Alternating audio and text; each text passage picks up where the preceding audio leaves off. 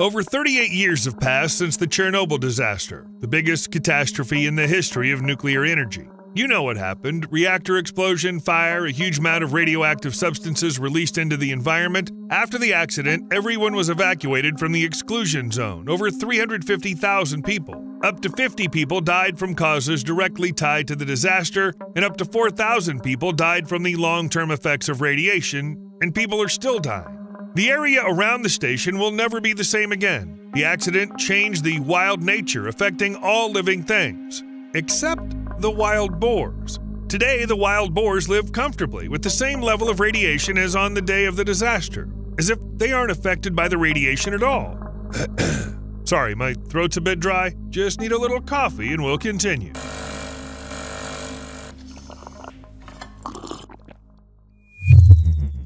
Here's an unobtrusive reminder to hit the like button if you do that kind of thing at the end of the video or while watching. Let's keep going. Let's start with the facts. The Chernobyl disaster of 1986 released a significant amount of cesium 137, a radioactive isotope with a half life of just over 30 years, into the environment. But since the incident, more than three decades have passed. So all scientists assumed that the level of the isotope in the contaminated area had dropped by at least 50%. It seemed logical and somehow right. The expectations came true with all the animals. The level of contamination in deer, for example, dropped every year. There's a simple explanation for this. Cesium gradually dispersed after the disaster, was washed away by rainwater, bound with minerals, or perhaps migrated deep into the soil, so deep that it stopped being absorbed by plants, and then by animals too, at least not in the same amounts as before. According to the test, it's clear that most food samples in the exclusion zone have not just half the original cesium concentration, but a lot less. But everything went well until it came to checking the boars. Suddenly, it turned out that their radiation contamination level was still as if the disaster had happened just yesterday. 30 some years? What, 30 some years? The level of radiation in wild boar meat is so high that this meat is unfit for consumption. It's just dangerous. Imagine how surprised scientists were when they discovered this anomaly. The wild boars of Chernobyl have become a scientific mystery. Some scientists even suggested that cesium dissolves better in the fat tissue of wild boars and stays there longer. But the research didn't confirm this. Instead, it became clear that wild boars just broke the laws of physics. This phenomenon even got the name wild boar paradox. The mystery was solved only in 2023. A team of scientists finally managed to trace the source of the radioactivity using the latest measurements. It was very difficult, but the result was worth it because it stunned everyone. It turned out that wild boars had been carrying a different cesium isotope all along, which was not connected to the Chernobyl disaster cesium 135. This isotope has a much longer half life than cesium 137, and it's much harder to detect even with equipment. Naturally, the question immediately came up about where cesium 135 actually came from in the wild boars and why their radioactivity wasn't going down. Researchers figured out that it's likely connected to the diet of wild boars. They looked into Bavarian wild boars, but believe the same findings could apply to Chernobyl boars. So, the diet. It mainly consists of deer truffles. These are fungi located at a depth of 8 to 16 inches underground. Cesium seeps into the soil very slowly, so the underground fungi are only now starting to absorb the isotope released from the Chernobyl nuclear disaster. At the same time, the fungi are still contaminated with other cesium isotopes. Cesium 135 got into the soil much earlier in the 1960s when nuclear bomb tests were going on. Scientists have confirmed a larger share of cesium in wild boar meat is linked to nuclear weapons testing. In some samples, it reaches up to 68%. The pathways for cesium to enter boar bodies are the same a very slow descent into the soil, sometimes just 0.04 inches a year, and then absorption by fungi. But cesium 135 had 25 more years to do that. So deer truffles are just now beginning to feel the effects of the Chernobyl accident. If fungi could be surprised, it would probably be surprised. And yes, a similar situation is seen in Germany. According to some studies, a large portion of the German wild boar population is radioactive. So much so that German hunters who have killed a wild boar must hand it over to the authorities for inspection. Not because the authorities want to control everything too much, just because the meat often turns out to be so radioactive that it's simply dangerous. In that case, it must be destroyed. Because of this, many hunters have completely stopped hunting wild boars, which has created a new problem their spread. Yep, in this world, not everything is that simple, but if you think about it, it's a really unexpected problem. You kind of expect radioactive boars to live in the exclusion zone, but in Germany?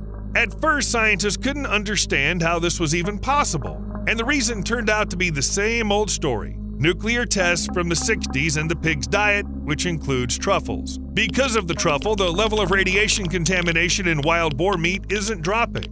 And it won't drop for a long time because cesium has to completely disappear from the soil. Only then will the contamination cycle break.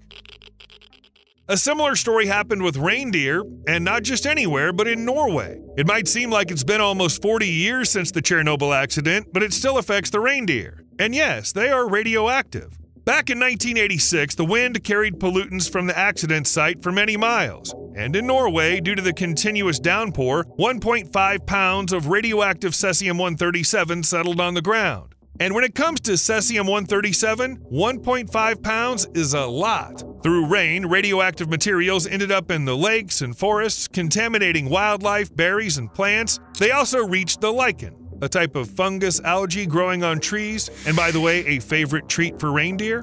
Since lichen naturally lacks a root system, it absorbs nutrients from the air, making it perfect for soaking up all that cesium 137. As a result, the reindeer unknowingly ate the poisoned lichen and became radioactive. Time for jokes about why Santa's reindeer really has a glowing nose. Naturally, the meat of these deer became dangerous to eat. Scientists determined this in 1986, and in 2014, when a check was done again, the deer were still damn radioactive. All right, we figured out what's the deal with the contaminated meat, but what about the more interesting things? If we believe pop culture, radiation should create terrifying mutants, real monsters, bloodthirsty and deadly. Naturally, all these monsters are supposed to inhabit the exclusion zone because their ancestors got too high a dose of radiation after the nuclear plant disaster. Some myths are partly true. The radioactive shock from the reactor explosion, plus chronic exposure to small doses of radiation, led to morphological, physiological, and genetic abnormalities in all studied animal species. Populations in the exclusion zone are deformed in a completely different way than any others, but not enough to turn into real monsters. It's known that animals died much more often after the disaster and the reasons were very similar to the changes in human health increased number of tumors and immune deficiencies, sharp reduction in lifespan, premature aging, changes in blood and the circulatory system, developmental defects, and much more. Again, this didn't make them monsters. Dead, yes, but not monsters. Today, there are reports of healthy animals in the exclusion zone, but it's believed that they came there after the catastrophe rather than being descendants of those who survived it. However, some animals were indeed caught up in the explosion at the nuclear power plant, faced its aftermath, but survived. These were dogs. When researchers collected DNA samples from the Chernobyl dogs, they all turned out to be descendants of the dogs that lived there during the disaster. Overall, there are no mutants in the exclusion zone, although the animals are different from others. Not too much. They're just quite large and not afraid of people at all. Chernobyl animals simply aren't used to encountering humans and don't know that in the rest of the world, people are supposed to be avoided. This includes wild boars, foxes, wolves, roe deer, hares, many different birds, and even bears.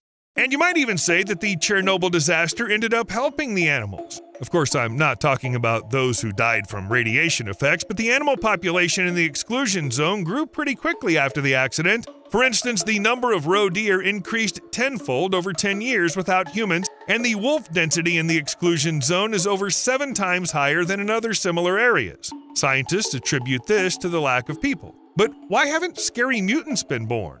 Oddly enough, it all comes down to the time needed for an animal to reproduce. Radiation, being a mutagen, works well on microorganisms and organisms with very short intervals from birth to offspring, but for a slightly larger organism, even the size of a vole, radiation is more likely to kill rather than cause mutations. This is because it will mostly be absorbed by tissues. For something capable of greatly increasing mutation rates to affect reproductive cells, a dose is needed where the organism won't survive. So, no saber toothed rats or deer with tentacles, everything's very mundane. However, even knowing all this, wild boars proved to be damn resilient. I mean, of course, there wasn't some mass death of animals all at once. The number of all animals decreased with the rise in background radiation. Everyone had a certain amount of time before the early death came, but the question is how the animals used that time. After the Chernobyl disaster happened, all the animals had to survive and hardly anyone is as good at surviving as wild boars. Literally everything that nature gave them works for survival in extreme conditions. Wild boars easily adapt and survive almost anywhere thanks to their high fertility, early maturity, ability to eat almost anything, long lifespan, and adaptability to everything. Heat, cold, no problem at all. This made wild boars one of the most successful and harmful species on the planet, and also helped them survive the disaster. To better understand how all this worked, let's take a wild boar and a roe deer. Suppose both of them lived in the forest near the Chernobyl nuclear power plant. A boar can reproduce at any time of the year as long as a male is found. Every 12 to 15 months, females have two litters with up to seven piglets in each. Six months later, these piglets are ready to reproduce, and the cycle repeats. But then an accident happens, and our wild boar has left. Let's say two years to live. It, of course, doesn't know about it and just gets pregnant the very next day. It happens to find a suitable male. After 18 weeks, or about four and a half months, five piglets are born. We won't consider how radiation affected them, but after six months, they're all ready to breed. And their mom is keeping up as well. Although radiation gives very little time, wild boars still manage to reproduce. What about roe deer? These animals reproduce once a year. The breeding season lasts from July to August, so it's really short. Pregnancy, on the other hand, takes a full 10 months, and usually only two fawns are born. To be ready for reproduction, roe deer also need about six months. But remember, the breeding season lasts from July to August, so almost a year must pass after birth before a young female gets pregnant. The Chernobyl disaster happened in April, so right after that, a roe deer couldn't possibly get pregnant. It was the wrong time of year. But even if you disregard the month, the situation is still quite different. While wild boars managed to produce several generations of piglets, roe deer barely gave birth to two fawns each. And it's still not clear whether they can even live a year to produce offspring. After all, roe deer aren't as good at adapting. So it turns out wild boars had a real advantage compared to other species. They also suffered from the fallout, got sick, and died from radiation. But when you can reproduce quickly and in large numbers from an evolutionary perspective, you're the coolest of them all.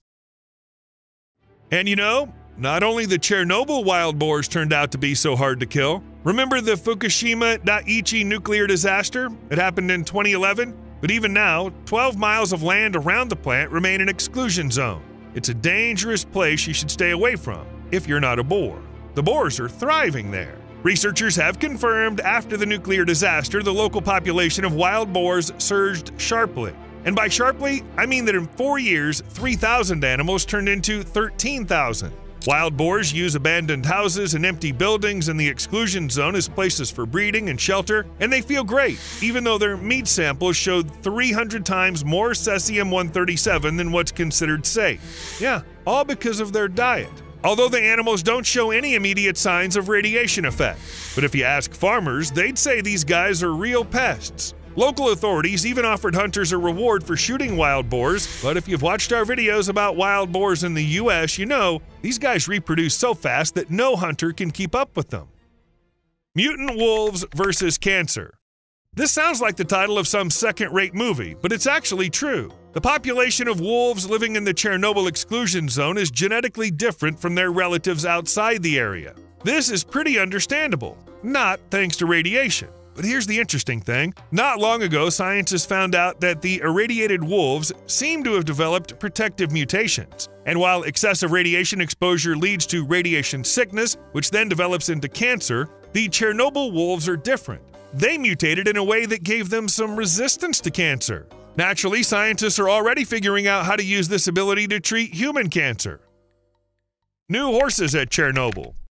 A few years back, 36 Przewalski's horses were deliberately brought into the exclusion zone. These are the horses that many people today think are the only true wild ones, not just feral. They were once extinct in the wild, but then they reintroduced them into their natural habitat. And then it seems they decided to send them to the exclusion zone. It turned out that it was a pretty good decision.